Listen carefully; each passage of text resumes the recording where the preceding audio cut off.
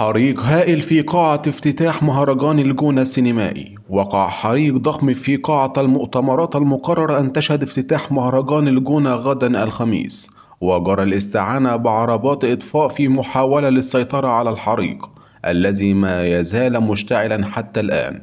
وأعلنت إدارة مهرجان الجونة السينمائي في بيان لها الآن عن أنه تم السيطرة على حريق مسرح البلازا. الذي شب قبل قليل وجار حصر الخسائر وتابعت في بيان لها وجهته للصحفيين وضيوف المهرجان.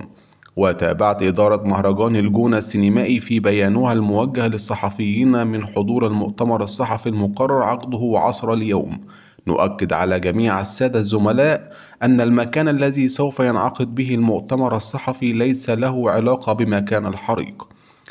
كانت قوات الإطفاء المدني قد سيطرت على حريق كبير شب بالقرب من مكان انعقاد حفل افتتاح الدورة الخامسة لمهرجان الجونة السينمائي الدولي. قبل قليل ووصلت سيارات الإطفاء والإسعاف إلى مكان الحريق وتحاول السيطرة على النيران. كان من المقرر أن يعقد مؤتمر صحفي للدورة الخامسة من المهرجان عصر اليوم للإعلان عن تفاصيل الافتتاح المقرر عقده مساء الغد.